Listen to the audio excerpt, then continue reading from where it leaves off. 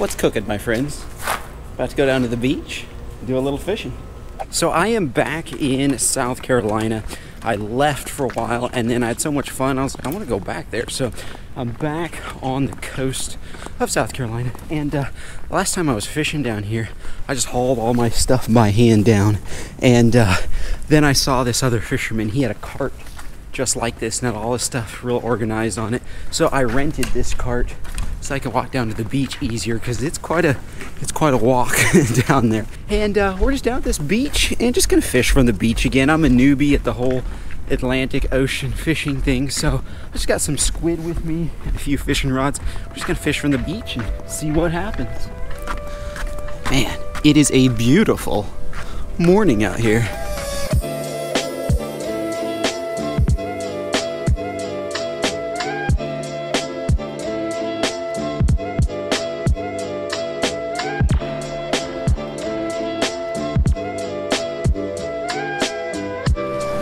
Check this out guys. There's like a sunken boat um, just off the beach a little bit on a sandbar but it's an upside down looks like a sailboat. All right my friends so here is the plan. The way I figured it a boat that is uh, sitting underwater there is a great spot for fish to hang out. And so I'm just gonna try to fish it from the beach. Don't know if I'll be able to cast quite that far but I should be able to get close and uh, we'll see if there's any fish on the sunken boat out there. For bait, I simply have some uh, frozen squid here. Nice little wild caught squid. And I'm just gonna cut off a nice chunk. I don't have any real heavy equipment today. Um, in fact, this is just a 30 pound leader with a fairly small hook.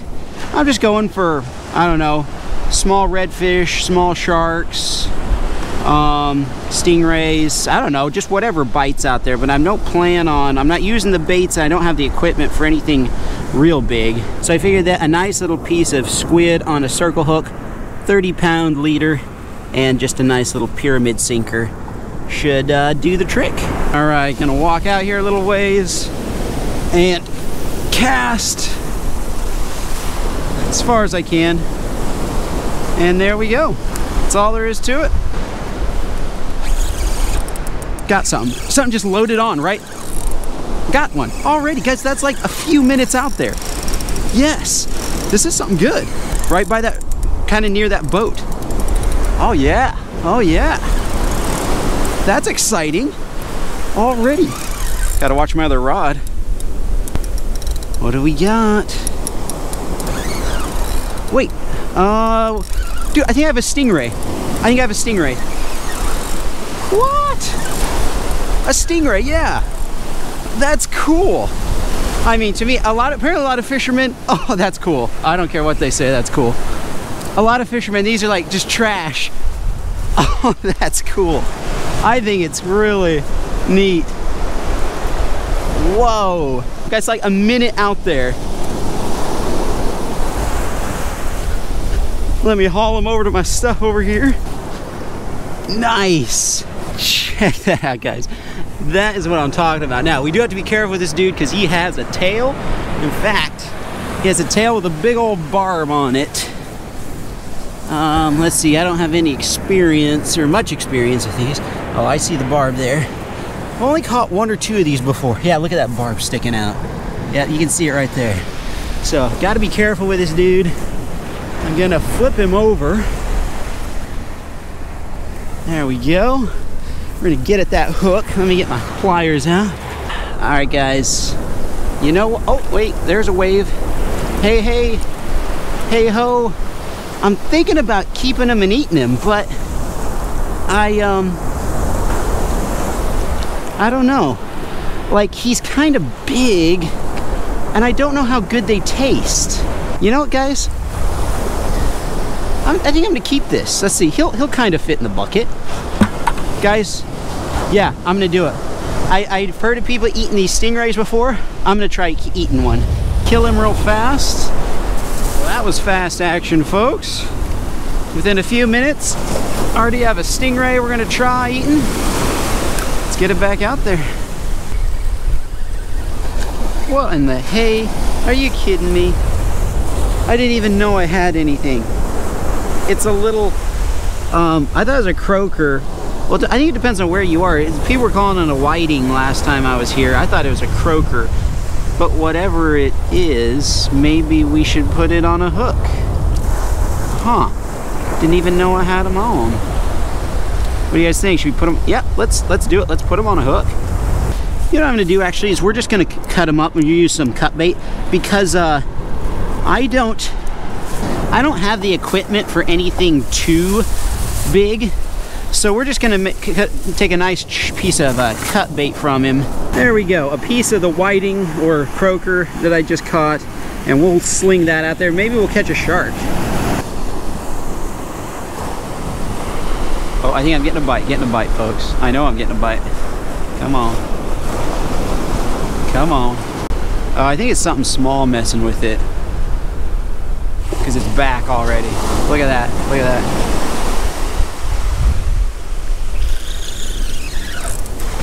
Got him. Got something. Got something already. Again.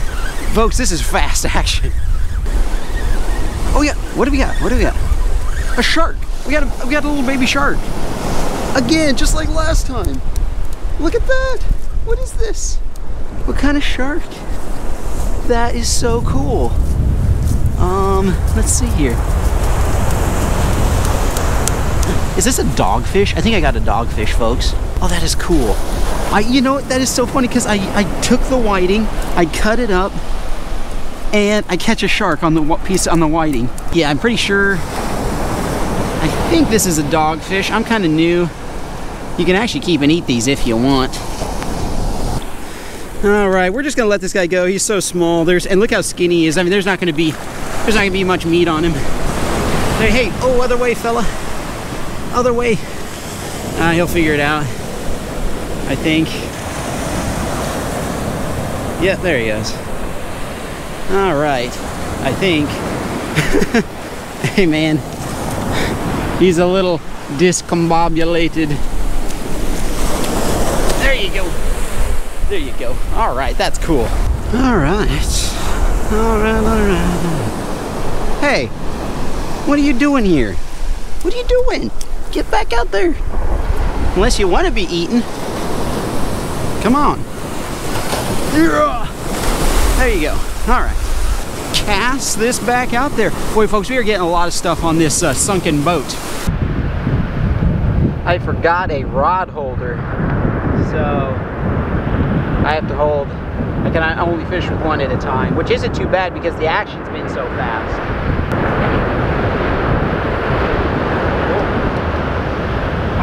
I missed him.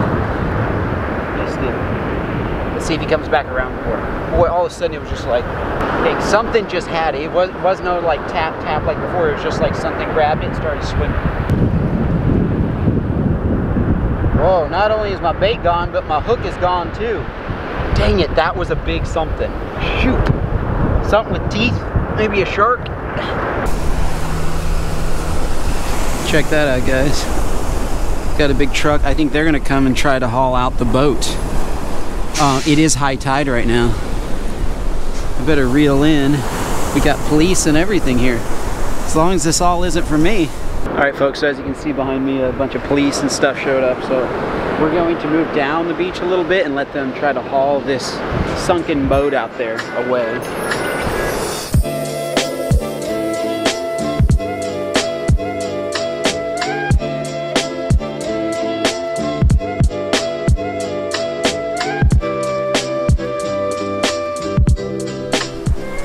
All right, guys, so here's the new situation. Um, I'm still fishing the beach here, but I've come to this spot where the river is running in here and the tide is changing right now. So it's gonna start flowing out and what I'm hoping is that on this kind of point here where the river and the ocean meet, there might be some game fish or something like that hanging out here. So just gotta throw a line out. This is my last piece of that whiting that I caught earlier.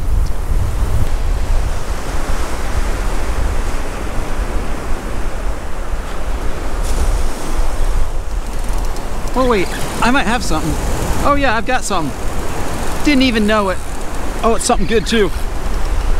I, I, as far as I, I didn't know it for for like probably 20 seconds. I, I had a bite, and then the the whatever it was must have just sat there. This might be a stingray based on that because it just sat in the same spot. Ooh, this is a good one. Uh, that's that piece of whiting again. This this is cool.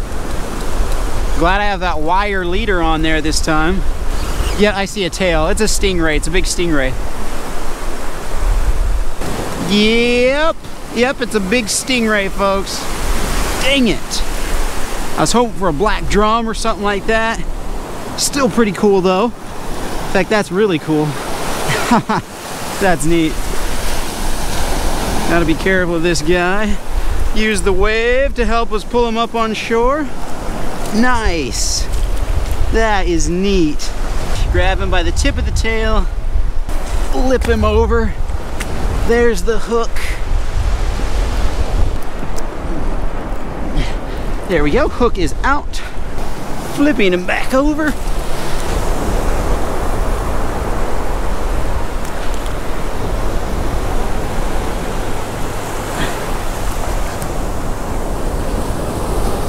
All right, there you go.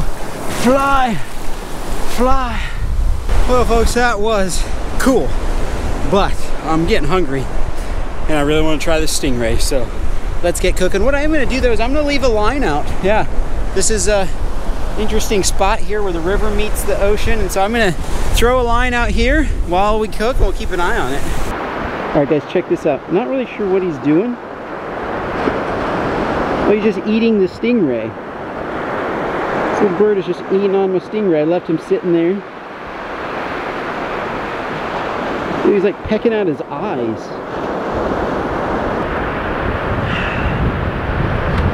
All right, my friends.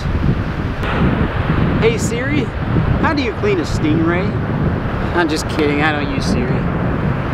All right, oh, phone's almost out of battery. Better make this quick. Oh, well, my phone's almost out of battery. I got enough knowledge just to be dangerous now. We're just gonna go for it. Hmm. I mean, how hard can this be, really? Oh man, the skin is thick. Was not expecting the skin to be so thick. Got something protruding there. Oh boy.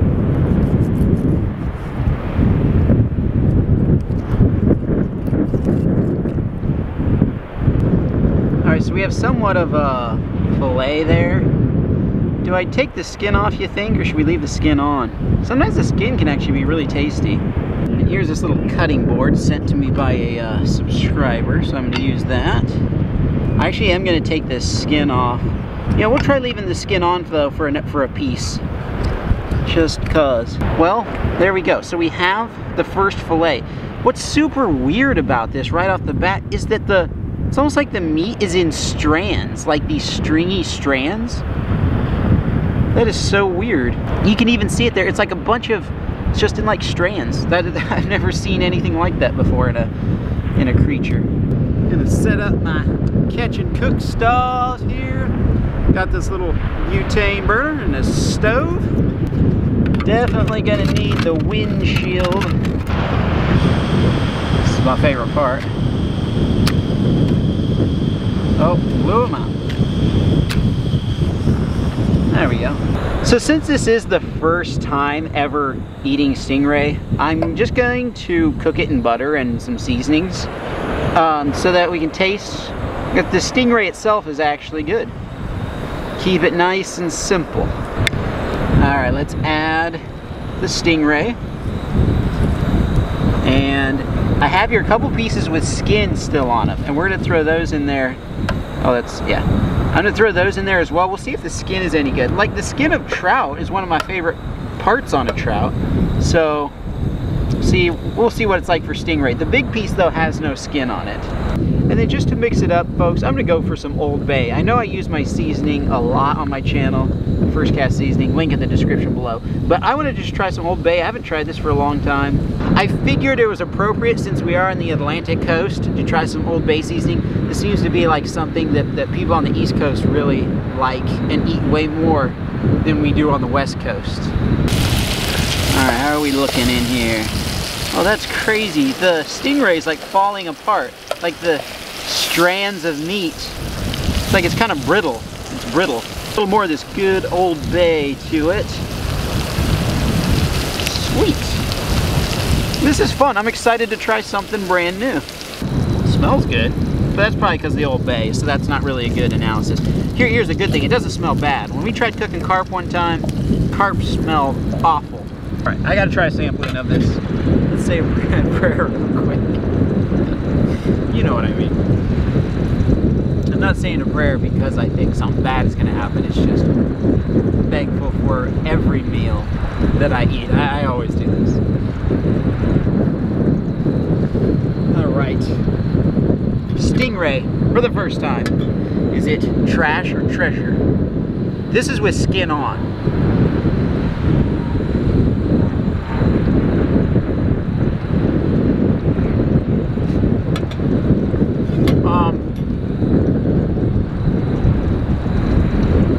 let's put it this way.